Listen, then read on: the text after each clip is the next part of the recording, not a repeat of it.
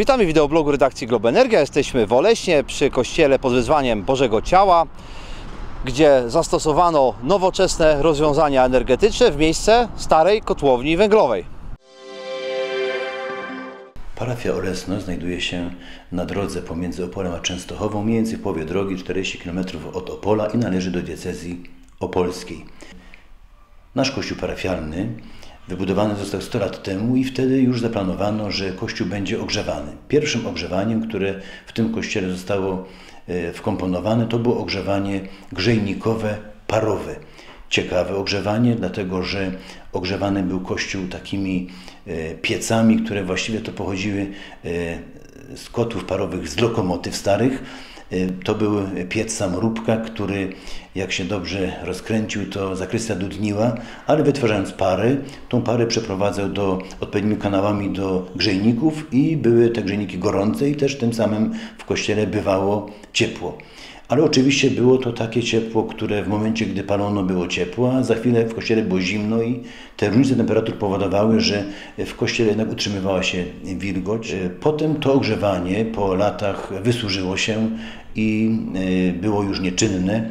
Zdecydowano o ogrzewaniu systemem nowocześniejszym, e, a był to system e, ogrzewania elektrycznego. Wmontowano listwy do pod siedzeniami w ławkach i to ogrzewanie wprawdzie grzało na przykład w nogi, ale już w samej przestrzeni kościoła było zimno. E, w konsekwencji byliśmy z tego ogrzewania niezadowoleni, dlatego że w kościele zasadniczo jednak było zimno i były też takie problemy, że na przykład e, liturgie, które gromadziły wielkie ilości wiernych, e, no, skutkowały tym, że parowało wszędzie para, gromadziła się na ścianach, na oknach, obiekt był zawilgocony i ciągle myśleliśmy, co zrobić, aby ten kościół był ogrzewany, jako obiekt, ale także, żeby to ogrzewanie służyło przede wszystkim tym, którzy na liturgię przybywają. I wtedy y, no, szukaliśmy oczywiście różnych rozwiązań w różnych miejscach, w różnych kościołach i zdecydowaliśmy o ogrzewaniu podłogowym i w ubiegłym roku decyzja zapadła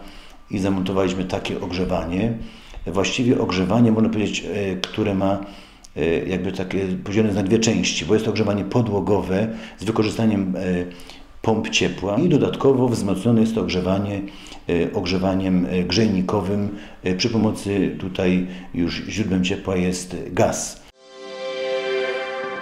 Znajdujemy się w pomieszczeniu, w pomieszczeniu kotłowni Kościoła Bożego Ciała. Kotłownia była opalana węglem i miałem węglowym. Wcześniej, wcześniej były dwa kotły, dwa kotły parowe, ludzie na to mówili tak zwane lokomotywy, bo kształtem swoim przypominały y, lokomotywy. Niemniej jednak było to dosyć uciążliwe raz ze względów na to, że y, samego, samego węgla trzeba było około 60-60 y, ton na ogrzanie tego obiektu i oczywiście trzeba było mieć przynajmniej dwóch lub nawet trzech palaczy, którzy w sposób ciągły ten kościół opalali.